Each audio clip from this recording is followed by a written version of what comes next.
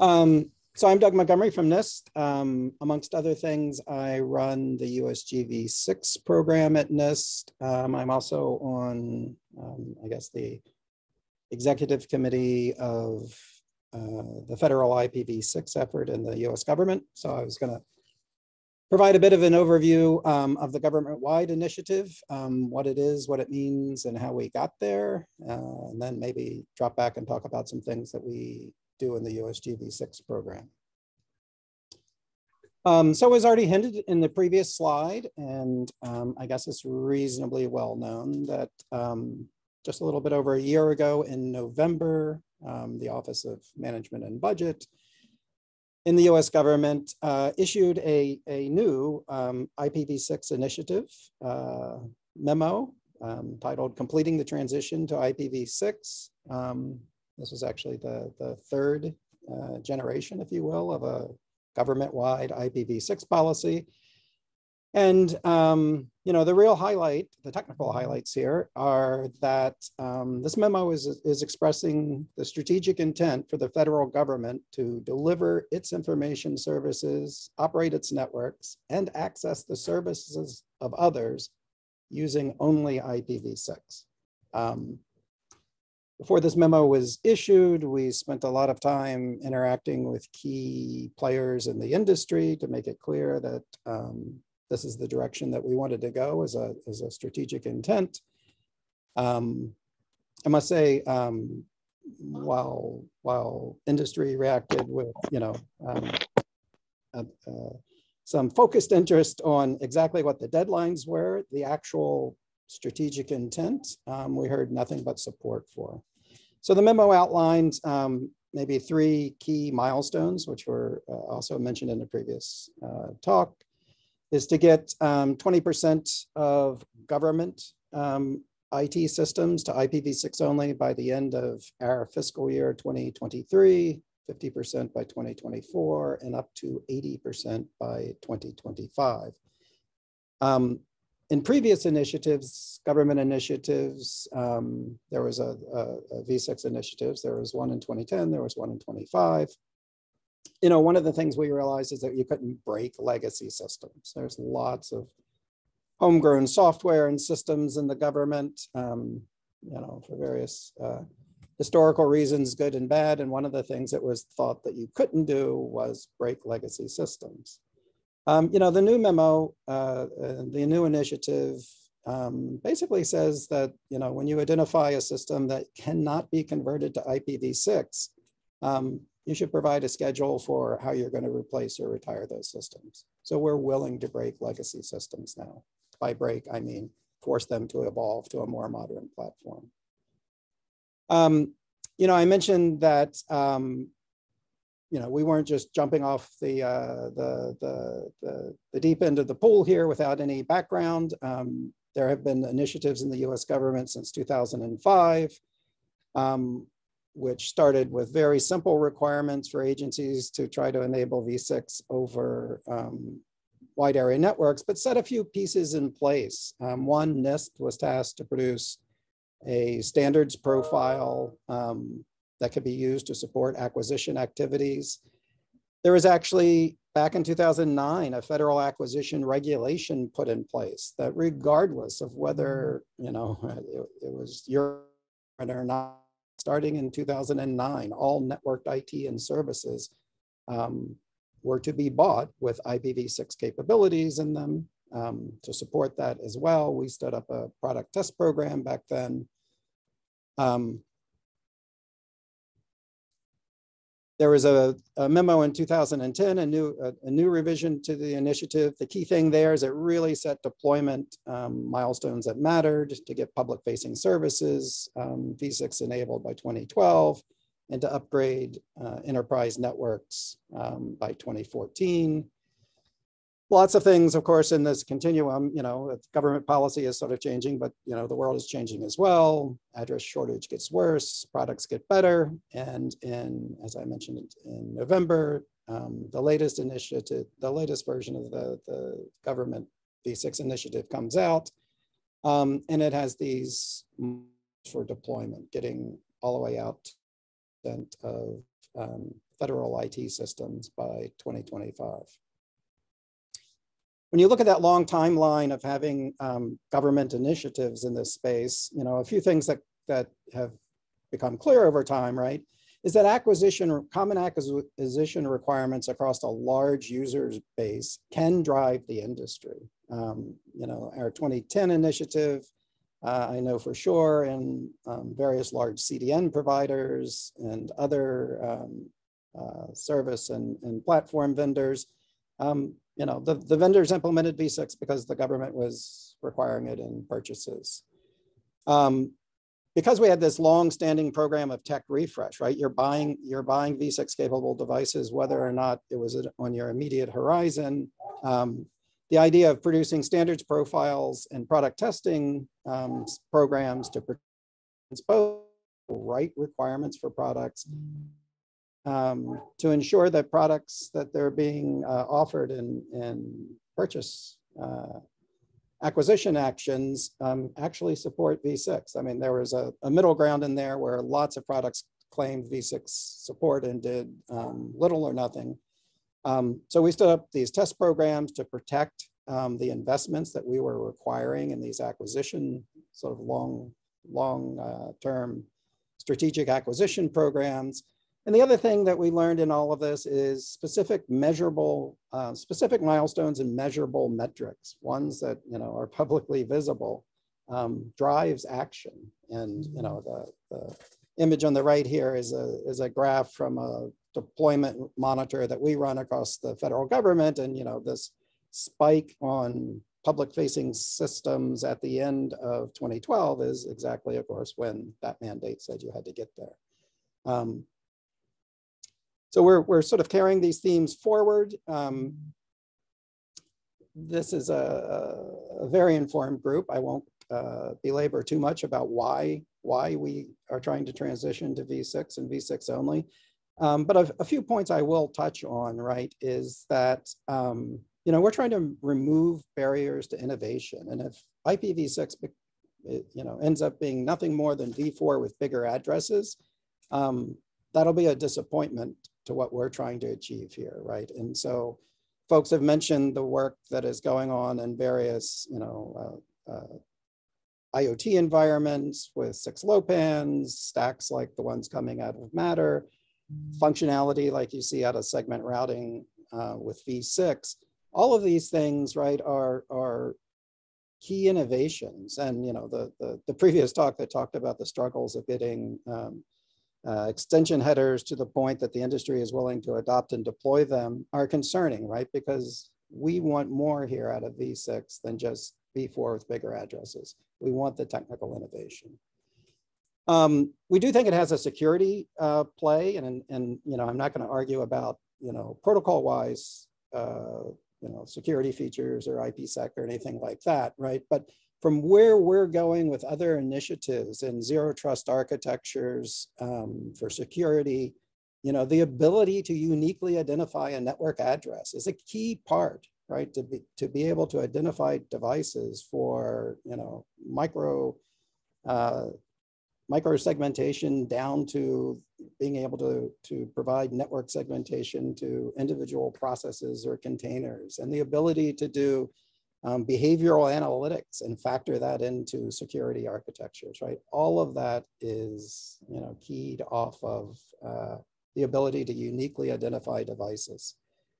And also we're seeing some interesting things in folks who look at a vast address space and innovate in, in network security technologies and do things that we could never have done in V4, you know, provide client specific um, server addresses and responses to DNS so that you can track uses. Another overarching theme is reducing cost and complexity. Why now? I think we've touched on all of this. I will say that because we've had these two other initiatives, um, lots of agencies, my own included, have deployed V6 on their public facing services. Lots of government agencies see today um, over 50% of their traffic to public facing websites are coming in over V6. Um, a fewer number of agencies um, met the second milestone of the, the previous initiative fully. Um, you know, NIST did, we've been native to the desktop for years and years and years. Um, and one thing to note in this that, that I don't touch on explicitly is that um, at the 2010 my, uh, initiative of the government, at the time, the US DOD was um, sort of equally committed to the vision and then backed off for some number of years. But the US Department of Defense um, has their own V6 initiative now that is um, moving forward and um, you know has similar goals to uh, the civilian government kinds of uh, initiatives. Why V6 only? Um, you know, we can get back to cost and complexity and reducing attack surfaces. Um, you know, the, the maturity of transition mechanisms is getting better, but you know, we're not naive about this. Getting to V6 only networks is going to require work in um, some, if not many areas. There are some interesting questions that are still out there. Um, you know, we think the intent of the government initiative in this space, the intent is clear to get to V6 only networks, but actually the technical details, whether you talk about from a product capability perspective or a network operation perspective of exactly what did we mean by V6 only, right? You know, and people have discussed all kinds of dimensions to that. V4 is not present in the product. It's administratively disabled. It's there, but not provisioned with addresses. The network takes active steps to block V4. Um, all of those things are, um, you know, need some additional refinement to, to actually meaningful, meaningfully talk through that. And the other issue is how will we measure progress against the milestones, right? I said previously the fact that we could measure some of those milestones easily, um, especially on public facing services, was a real catalyst to getting folks moving. And um, you know, we're still discussing how to meaningfully measure these milestones um, in the current initiative. It was mentioned before um, about cloud services, and um, there's a lot of discussion in the US government circles about what does V6 only mean in cloud or shared services. Um, as the previous talk noted, um, many, many non-standard, non-traditional um, you know, V6 over a, a, commodity operating system on a real network, um, you know, there's lots of differences in the way that uh, cloud networking services work. And because we um, try to provide a product testing program um, um, and do provide a product testing program for you know your traditional commodity products, how to test V6 capabilities in the cloud is something we're still struggling with. And if you're a federal CIO and you see, you know, the, the, the drive to V6 only, um, you're also confronted with the fact that there are other um, government IT policies that you're trying to deal with. Um, there's a strong initiative for zero trust networks.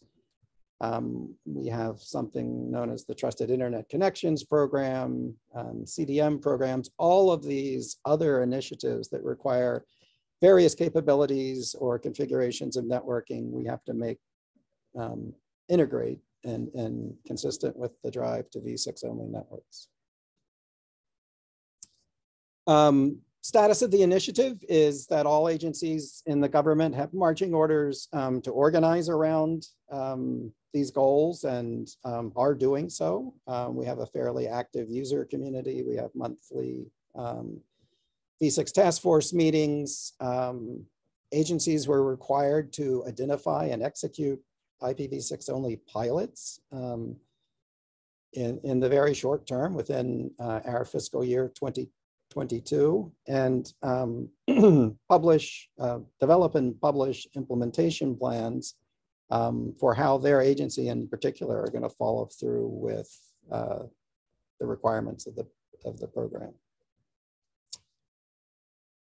So one of the things that um, I wanted to touch on a bit, and it sort of follows nicely uh, Tim's presentation about the RIPE profiling effort and is one of the things that NIST was tasked to do um, in the entire V6 program, is um, the USG V6 profile and test program. I mentioned that we've had this long-term tech refresh based um, procurement requirement, an actual acquisition requirement in the government um, to buy IT capable products. The obvious question there is how do you define IPv6 capable?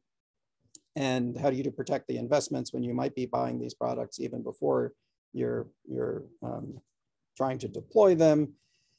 And so um, we established the, the, the USG V6 profile and test program to, to sort of respond to these last two bullets. Um, it's highly leveraged off of the V6 Ready logo program. So Tim had sort of already touched touched on bits of that in talking about the, the RIPE profile. Um, but you know, we're, we're aiming to provide conformance, interoperability, and functional tests um, in support of acquisitions, right? RFPs and acquisition uh, functions so that we can protect government users um, in buying equipment. So there are a couple pieces to the, the USGV6 program. One is a profile, which might operate at a, um, um, in some ways, a level of detail that might be uh, greater than some profiles. Um, we've defined the standards profile that um, defines a vocabulary for expressing IPv6 requirements of specific products. It's not meant to be, um, in general, a, a, very broad general sort of host requirements or least um, capability definition. It's actually meant to provide a vocabulary that people can write very specific um, IPv6 procurement requirements. Um, we do that by defining what we call capabilities, which is to um, you know, take what are logically consistent bundled sets of IPv6 functionality group them together in the RFCs and assign them a name like the core capability or SLAAC, some of the names, you know, you can see and will make obvious sense. And then we provide this notation um, called capability summary strings where you can um, use the string notation to define um, very specific requirements uh, for IPv6 capabilities in the product. Um, about the same time as the last initiative was announced, um, we produced a new version of the profile um, that, that um, uh, revised and enhanced it in various ways to improve the usability, update RFCs and all of that sort of thing. Um, but one of the things it also did is split the US government profile into two documents. One is a, a generic NIST IPv6 profile, um, which says nothing US government specific, but it defines these um, capability, uh, these uh, V6 capabilities and the capability string notation. Uh, we did that because um, we too have had people pick up our profile and um, use it in other government contexts or other user group context. Um, and some people expressed that they would do that even more if the document didn't have all of this government mumbo jumbo in it. And so we separated the two. There's a, a NIST v6 profile, which is um, generic and does not mention anything about the US government. And the US government profile, which is just a thin delta on top of the NIST profile, basically telling you how you use the NIST profile in government procurements. So we have the system that we can produce a string notation for a very specific set of requirements. Of course, the question is always whether the product supports the requirements. Um, but before we get to that, inside the, inside the profile for every one of those name capabilities, you'll see in an expansion. Um, you know, here the, we uh, illustrate the core capability, the set of RFCs it maps to, um, sometimes um, whole RFCs, sometimes specific subsections of RFCs. Um, in some cases, we um, you know, change the base conformance requirements of the RFC, maybe mandate uh, functionality that you know, was left optional in the host requirements document as an example. Um, the test program is um, government defined and managed, but really operated by an independent test laboratories. Years ago, we surveyed all the test programs that we could find and um, decided that we couldn't adopt any of them entirely, but we created one ourselves that we um, negotiated an MOU with the IPv6 forum to basically align our test programs with the IPv6 Ready Logo program as much as possible. Um, basically anytime there isn't a technical difference in our requirements in their tests, it is effectively their tests. So we have accredited laboratories that use standard test methods for conformance and interoperability. Um, they test against our profile, but leveraging the, the V6 Ready logo tests. Um, we have a test um, report template called the supplier's declaration of conformity. But the real thing to know is at the end of all of that, what comes out the other side is a um, capability string in the same exact vocabulary of the tested or claimed capabilities that the product supports. Um, like I said, we released a new version of all of this in uh, last November, um, simplified the profile, simplified the reporting, um, provided more examples for folks um, in how to write requirement statements, um, put some uh, questions on, on the SESDOC that are um, uh, questions that everybody wanted to see answered about vendor products. Um, so you can go to our website and see revision one of this. There's a, a long series of documents that define the NIST profile, the USG V6 profile, and the requirements of the test program. Um, and you know this is up and running. The, the new profile is published and in place. Um, the tests are almost all filled in for the new profile and products are being tested against it. Um, the, the test program, as I said, is, is, is slowly putting uh, the, the, the um, revised tests in place. And this also, as Tim mentioned, it aligns to changes that uh, uh, the V6 Ready logo program was making itself, moving to 8200 and based RFCs and the such. Um, you know, we do have uh, a draft test plan out there for how to test IPv6 only. And one of the things the profile does is define what it means for a product to be IPv6 capable of operating on an IPv6 only network, which really function focuses on sort of the life cycle functions of a product, your ability to, to um, uh, deploy, install, configure, manage, update the product um, on a V6 only network. I will say the first draft of that test plan, um, industry uh, reacted with uh, some concern because basically there's a lot of products we can't get there right now, right? Is uh, um, the first draft of that test plan said that all you know, configuration management update functions must operate on the v6 only network. Um, that got a lot of in industry pushback. And so for, for the first version of that test spec, we are now uh, stepping back to saying that you must have at least one um, means of configuration, installation, update, and management that operates on a V6 only network. Uh, there's uh, UNH-IOL is an accredited test lab. There's a third-party accreditation um, uh, body who um, yearly uh, updates their accreditation to test against this program. You can go to uh, the website that's listed here and look at the products that are being tested already against the new version of the RFC. Um, I won't belabor the SDOC, the test results. You can look at that. There's certain key questions that it asks. Um, there's some attestations that aren't tested, but we ask the vendor to attest to them uh, on a document that is uh, signed by a uh, company uh, officer and provided as part of a procurement response. Um, and like I said before, um, you know, the results, the, the summarized results of a test plan is one of these capability strings again. see the details. The next steps for the program, um, we have a few more test plans to put in place, uh, finalize the IPv6 only test plan um, and begin to require vendors to test for it. Uh, I noted that we aren't really well positioned to test cloud services, so work needs to be done there. Um, NIST will probably produce a usage guidance document to help folks better leverage and use um, these tools going forward. And there's been some long-standing uh, efforts to merge uh, the US government and the USD, uh, DOD um, profiling and test efforts, and those are continuing.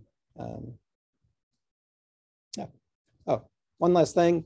Um, going all the way back to the first initiative, NIST produced some security guidance um, documents that are a little long in the tooth now. Um, they were published in 2009. Um, so we're working on an update uh, to those security guidance documents, when we published this stuff in 2009, um, we, we were kind of filling a vacuum. Now, of course, there's uh, much greater bodies of knowledge of IPv6 security issues, um, books, there's RFCs, there's best practices. Um, so um, the new version of this guidance document is going to be much more of a playbook to help federal CIOs understand what questions to ask themselves, what questions to ask vendors, and pointing to other existing uh, guidance that already exists in this area.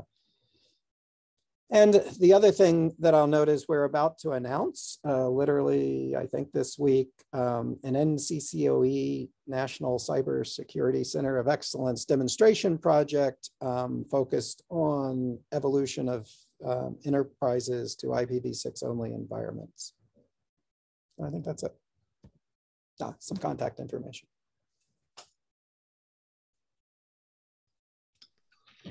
Fantastic. Thank you very much, Doug. There are some questions, a couple from Ed, I see, one around um, how you evaluate the quality of the implementation plans that are submitted.